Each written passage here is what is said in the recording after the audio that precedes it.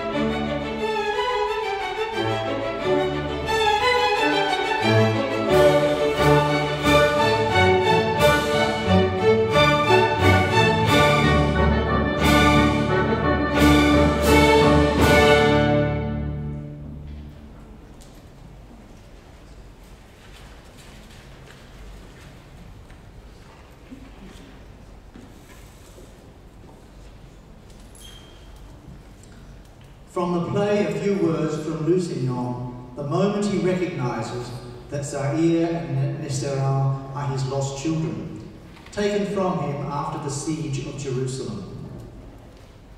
O heaven, mine eyes do not betray my hope. Wondrous and mighty, God's thy bounty scope. Yes, it is possible. Yes, yes, tis so. This cross, this holy cross, full well I know. Yea, dear lost emblem, which my murdered wife was wont to wear in days of happier life, and thou, sweet pledge, which on our union smiled, thou art indeed restored, Zaire, my child, my child.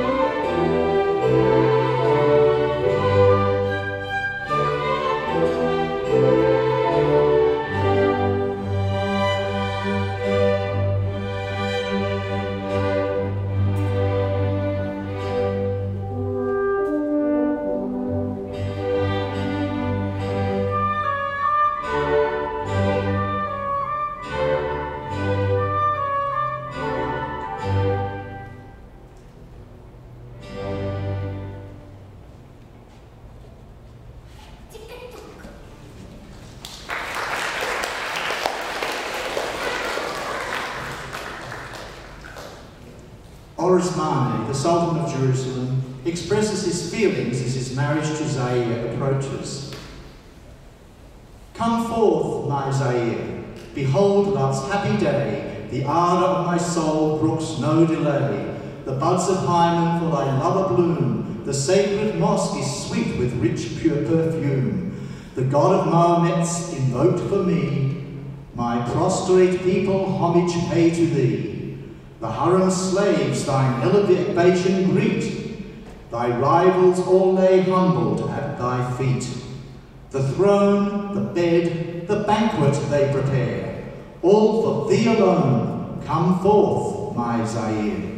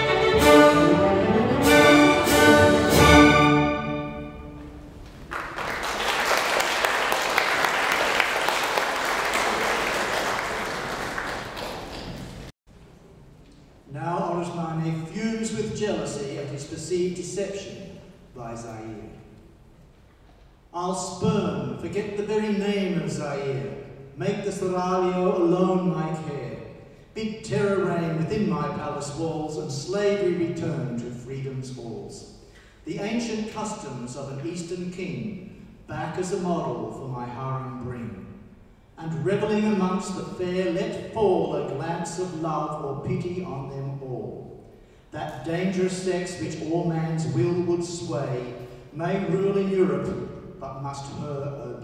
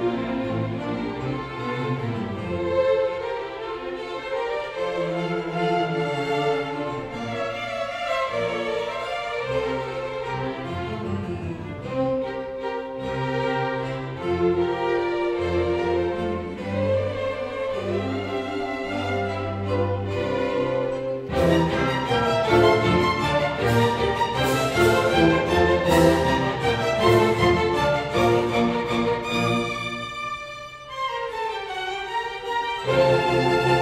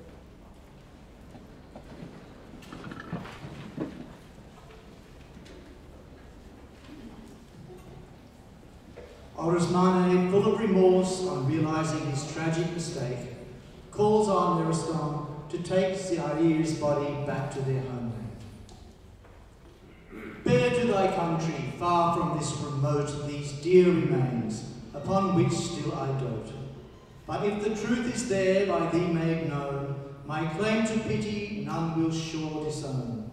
Take home this poniard, say by it misled, the heart I treasured more than empire bled. Tell them I gave the most terrific death to one than whom a sweeter ne'er drew breath, that at her feet I'd place my life, my throne, that her, of all the sex, I loved alone. Say how I slew her at blind error's call, that I adored her and avenged her fall.